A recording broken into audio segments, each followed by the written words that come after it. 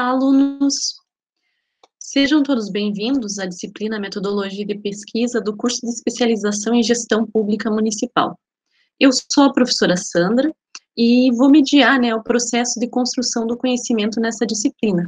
O objetivo dessa disciplina é discutir os aspectos éticos que envolvem a pesquisa científica, as implicações do plágio, fornecer subsídios para vocês sobre o que é metodologia, né, os métodos, as técnicas, é, apresentar um projeto de pesquisa, no como ele se constitui, conhecer as orientações e normas para redação científica, conforme a ABNT, conforme a instituição, né, a, a Unicentro.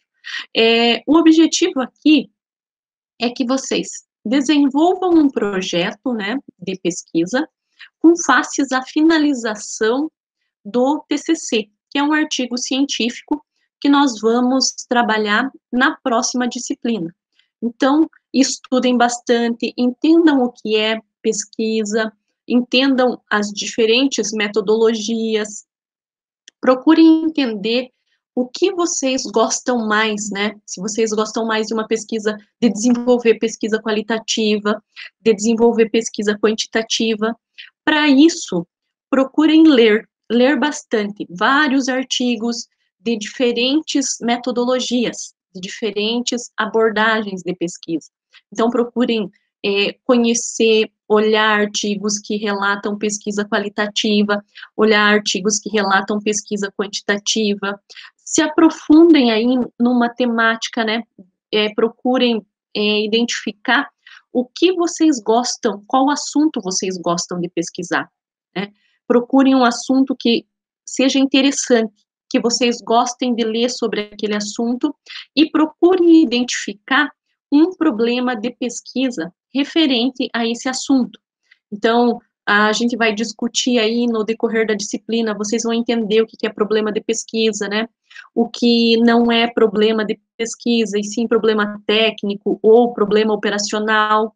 Então, procure identificar agora um problema de pesquisa, que isso vai auxiliar vocês aí na elaboração tanto do projeto de pesquisa nessa disciplina, como posteriormente para o artigo na próxima disciplina que a gente vai discutir. Para facilitar os estudos, eu dividi a disciplina em três unidades. Né? É, nós vamos começar discutindo a pesquisa nas ciências sociais aplicadas e a ética, né, em pesquisa, abordando as questões relacionadas a plágio.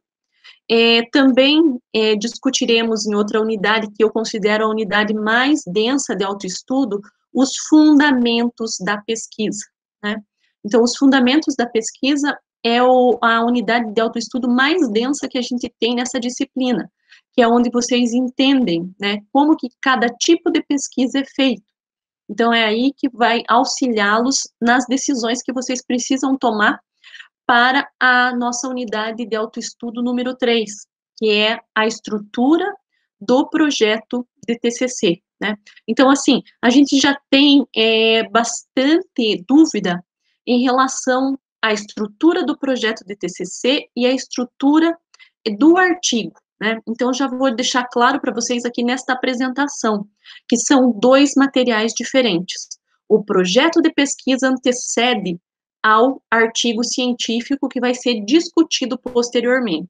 Algumas partes do projeto a gente vai utilizar depois na confecção do artigo, né? Mas eles são estruturas diferentes. Para auxiliar em termos de materiais, eu desenvolvi um e-book para vocês, né? Então, assim, toda a nossa disciplina vai estar baseada no e-book que eu disponibilizei. Também, né, tem alguns vídeos de conteúdo que eu preparei para vocês e é, materiais de texto também. Gostaria que vocês participassem muito nessa disciplina. A gente vai ter mais momentos síncronos, né, é, de vídeos interativos aí ao vivo com vocês. Então, por favor, tragam todas as suas dúvidas para os momentos que a gente tem síncronos. A gente vai ter os fóruns também para discutir. A gente vai ter momentos para tirar dúvidas. Então, aproveitem esses momentos para tirar as dúvidas de vocês. Né? Não fiquem com nenhuma dúvida, porque isso auxilia depois é, na elaboração do artigo e na elaboração agora, né, do nosso projeto de TCC. Desejo que vocês aproveitem os conteúdos disponibilizados, que vocês se organizem, né? A gente sabe que ah, estudar à distância não é fácil, requer organização, requer leitura, requer aproveitar os momentos de interação. Então, isso tudo é que vai possibilitar que vocês atinjam o objetivo desta disciplina.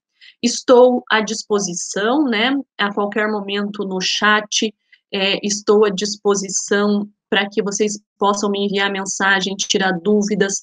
Então, sempre que vocês tiverem uma dúvida, falem comigo, falem com os seus tutores.